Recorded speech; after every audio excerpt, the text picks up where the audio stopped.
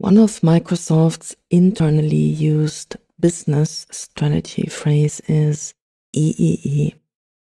Embrace, extend, extinguish, also known as exterminate. This video is for documentation preservation of some of Microsoft's business practices just until 2009. There would be more up to currently 2021, of course.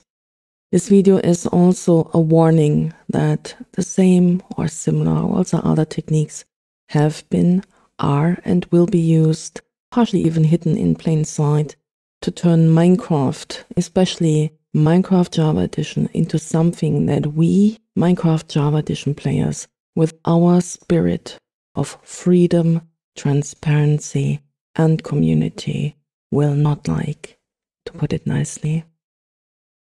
A recent example for Microsoft hiding things in plain sight would be the XUID in telemetry, since snapshot 21W38A.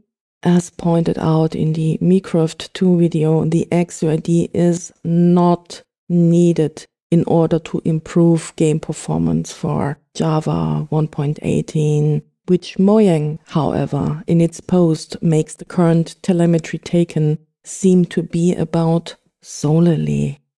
And I'm highly disappointed in Mojang that they did not inform the community who trusts them, who even partially absolutely loves them, what the XUID actually entails. And even if they will inform the community now afterwards, if they even do it thoroughly, that's another thing which I would not count on that it would be. But even if Mojang informs community now afterwards, it will leave a really, really bad aftertaste, at the very least for me and some of my friends.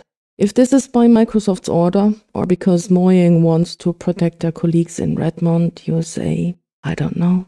But I always believed that despite Mojang being Microsoft's subsidiary, they still would share Minecraft Java Edition spirit of freedom, transparency, and community. Be aware Regular consumers don't realize that business companies such as Microsoft plan for decades into the future.